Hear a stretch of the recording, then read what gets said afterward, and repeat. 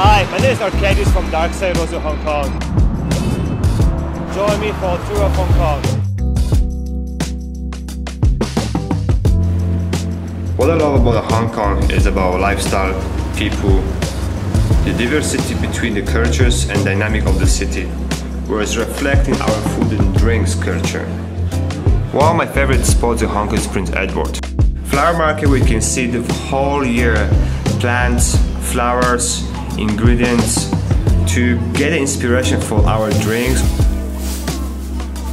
One of the local drinks inspired me was salted calamansi with the lemonade.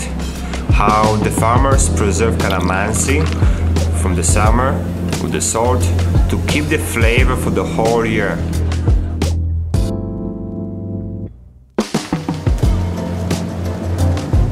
For the drink, we choose Nikka from the barrel because of the flavor in itself. It will fit perfectly with our salted calamansi syrup. Top up with the soda water to give the freshness, the deep flavor of the whiskey and the fresh notes from the calamansi. Enjoy for the whole entire year at Darkside. Cheers.